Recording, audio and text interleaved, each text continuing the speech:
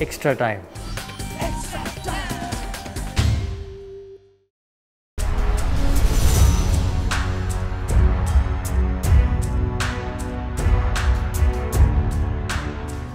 Hello मैं हूँ Rajul Sharma fans India की तरफ़ से, और एक्स्ट्रा टाइम के दर्शकों के लिए अपडेट लेके आए हैं ऑस्ट्रेलिया से जैसा मैंने आपको बताया था पहले एडलेट में जो कोविड की सिचुएशन है, वो आउट ऑफ़ कंट्रोल हो रही थी बट अच्छी खबर क्या आ रही है एडलेट से कि आज सिर्फ़ दो ही नए केसेस आए हैं कम्युनिटी ट्रांसमिशन के, जो कि एक अच्छी खबर है।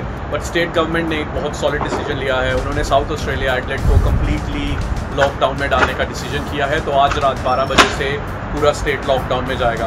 अब आपको ये सोच के लग रहा होगा कि दो नए केसेस और पूरा स्टेट लॉकडाउन में जा रहा है। इस डिसीज़न की काफ़ी प्रेज हो रही है। मैं भी इसकी तारीफ़ करता हूँ कि South Australian authorities proactive step ले रहे हैं। वो वेट नहीं कर रहे हैं कि ये दो से 200 और 2000 हो और तब वो कोई एक्शन लें। तो इन दो केसेस के चलते हुए ही वो स्टेट को लॉकडाउन में डाल रहे हैं छः दिन के लिए। सो ये लंबा लॉकडाउन नहीं है। कोशिश यही है कि छः दिन तक ये जो चेन होती है स्प्रेड होने की, ये टूट जाए।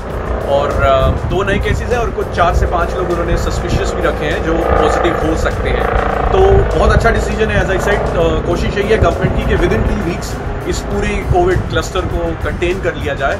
और साउथ ऑस्ट्रेलिया को दोबारा कोविड फ्री बनाया जाए। तो खबर यही है कि जो day and night test match है उसके ऊपर अभी कोई ज़्यादा नेगेटिव न्यूज़ नहीं आई है।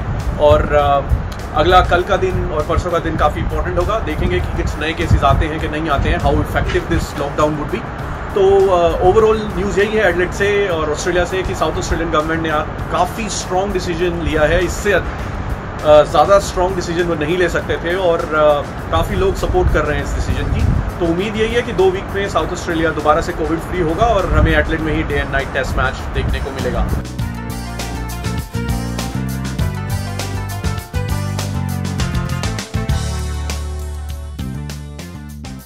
Thanks for watching extra time fans India की तरफ़ से मैं राजुल शर्मा आपको अपडेट्स यहाँ पर लाकर देता रहूँगा। मेक श्योर आप फॉलो करें सब्सक्राइब करें फैंस इंडिया को और एक्स्ट्रा टाइम को। Thank you